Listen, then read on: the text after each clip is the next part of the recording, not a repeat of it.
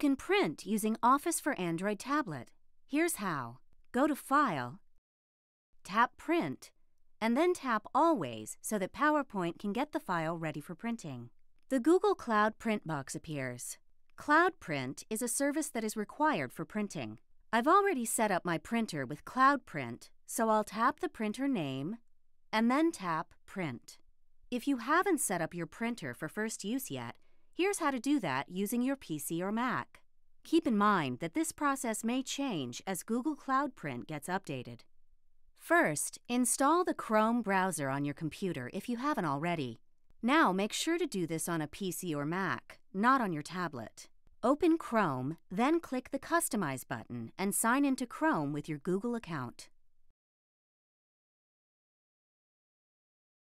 Now, click the Customize button again, and then click Settings. Click Show Advanced Settings. Scroll down to Google Cloud Print, and then click the Manage button. Click Add Printers, and the printers that are currently connected to your computer will show up here. Choose the printer you want to print to, and then click Add Printer. Almost done. Back on your Android tablet, tap File, then Print. Tap Always, and then log in with the same Google account you used earlier.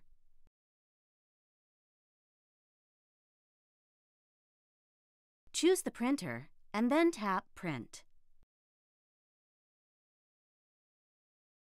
When you print, your file gets transmitted from your tablet to the Google Cloud Print service, to your PC or Mac, and finally, delivered to your printer. Keep in mind that your PC or Mac must be on during this time. You won't see the file appear on screen. It's just passing the file to the printer. There are other ways to set up Google Cloud Print, including bypassing your computer and printing directly to what's known as a cloud-ready printer. For more information on this, go to www.google.com/cloudprint.